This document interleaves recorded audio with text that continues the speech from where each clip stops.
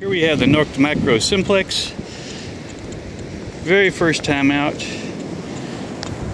Doing a little beach detecting with it. Got about a dozen coins here.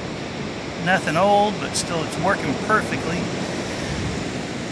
And you can see here, I've got a men's titanium ring and a women's 14 karat gold.